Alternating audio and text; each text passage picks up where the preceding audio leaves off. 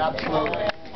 Absolutely. So, um, couple of important notes first. Uh, If you're not on our mailing list, please do sign up uh, so we uh, can get you on our mailing list. We don't send out a lot of emails. Matter of fact, my newsletter is a little bit late this month. Um, There's a tip jar. We do need to pay for the room, so put some things, uh, not a tip jar, sorry, Mike. It is a uh, donation jar. so Donation jar. Tea- Teapot, yes, which is very new this month, so please uh, contribute to the uh, cost of the room. And also, we love our waitress here, we love this, coming to this place, so take care of our waitress well.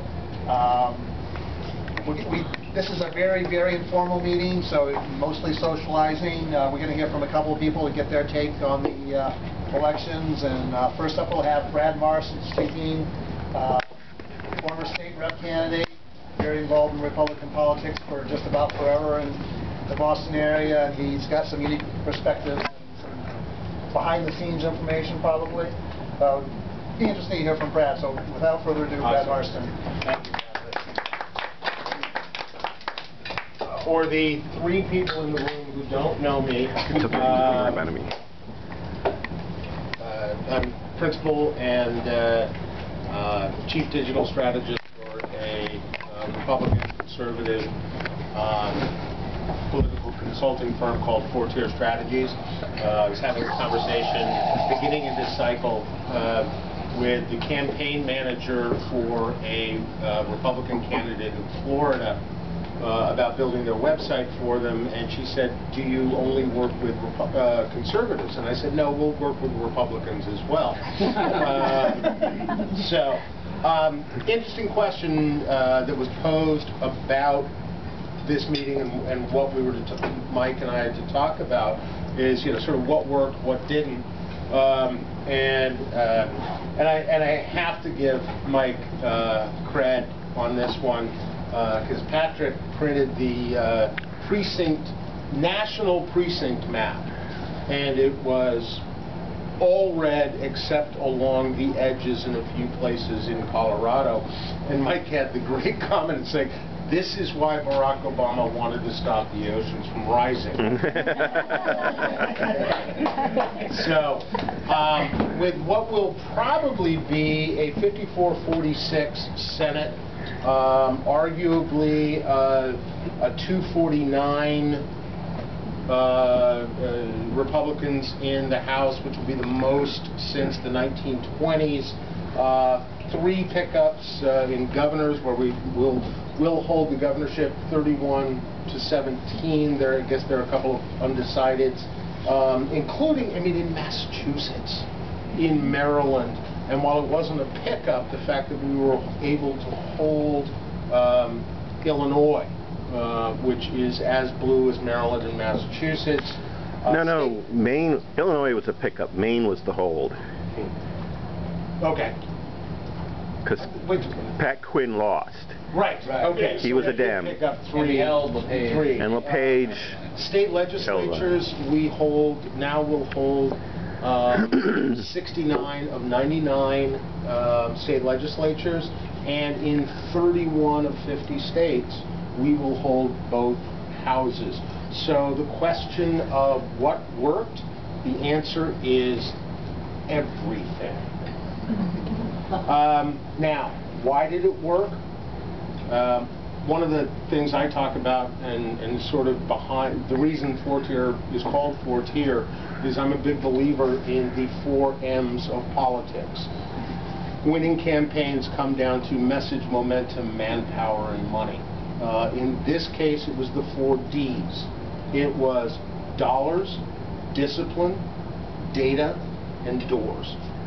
Um, the RNC outraised the DNC about $35 million. Uh, the Democratic Senate campaign and Democratic congressional campaign committees outraised us um, between 35 and 40 million. The question is, what did we spend the money on? And I think it was two CPACs ago, uh, there was a, a panel discussion, should we kill all the consultants?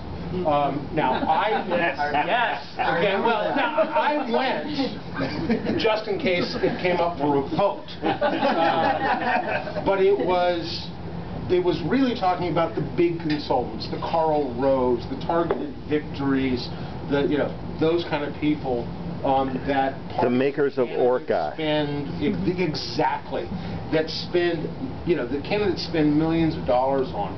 And Pat Caddell, Democratic pollster, was one of the panelists. And he said, folks, you don't get it. On our side, we work and run to win. What you guys do, your consultants do, is work to make sure you get hired the next election cycle. So when the choice is between spending $100 million on grassroots or $100 million in advertising, the Republican consultants say, hey, let's buy $100 million worth of television advertising. Why? Because they get paid a 15% commission on that $100 million. They don't get paid to build the grassroots. But luckily in 2012, we got our asses kicked badly enough that Reince Reince Priebus sobered up enough to realize, hey, we may have to do something differently. So we did spend that $100 million. What did we spend it on? Data. And I can't overemphasize the importance of that spend. Okay, look at a state like Massachusetts where you have 11% registered Republicans, 52% registered independents, and 38% um, registered Democrats. I'm assuming there are a few independents in this room, correct? Mm. All right? I mean, I, when I ran in 2010, I found out that independents in my district are independents because the Democratic Party is just too damn conservative for them. All right? And I would suggest that there are people in this room who are independents because the Republican Party is too liberal for them. Mhm. So, but you're going to generally, if you vote, you're going to vote Republican. So, I mean, my business partner, John LaRosa, perfect example. More conservative than I am when it comes to social issues. About the same on small government, fiscal, etc.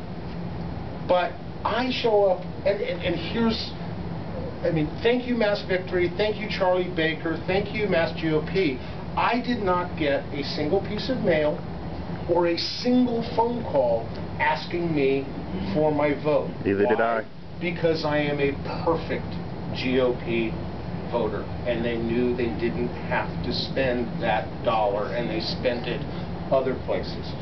Um, discipline, candidates, okay? Probably the two biggest were replacing Ken Buck in Colorado with Cory Gardner, and the other one was, and I, I don't like the way they did it, but making sure that Chris McDaniel lost the primary um, to Thad Cochran. You know, we didn't end up with Todd Akins, Richard Mourdock, Christy, Christine O'Donnell, uh, et cetera. Um, and you can argue against the model, that, that RNC model, except the RNC exists for one reason and one reason only. And what is that? Raising money and winning elections. And if they said, I mean, I get hired by people to win elections. Um, and I will do virtually anything to make sure that that money is well spent. Um, we have turned down plenty of people who said, well, I'm really to the left of so-and-so. And it's like, well, then you are also left out of our being involved in your campaign. Um, the other message, the other discipline, discipline when it came was, was message. When people said, well, I want to talk about this, and I want to talk about this, and I want to talk about this. And, and the NRC, the NRCC and the uh, NSRC said, that's great, except never do it. It's Obama, Obama, Obama. And if you ever have a question and you're not sure about what to talk about, it's Obama. Okay? Discipline matters in campaigns. I mean, great story about the fact that they flew a bunch of Republican Senate candidates into D.C. and they were all at the luggage um, carousel and they got bombarded by um reporters ask, throwing questions at them except they weren't really reporters. They were Republican staffers pretending to be reporters, which is a little different than an FBI agent pretending to be a reporter. But, but it, it, it was sort of a live fire training exercise. Um, data, type, quality. Uh, had a great conversation. I'm chairman of- of my local ward, and welcome to my local ward, which is Back Bay, Beacon Hill, and a little part of South End. And I ran, as Patrick mentioned, I ran for state rep in 2010, made thousands of phone calls, made tens of thousands of door drives. And on the phone calls, eh, maybe it was a 60-40, 70-30, if it was a right number.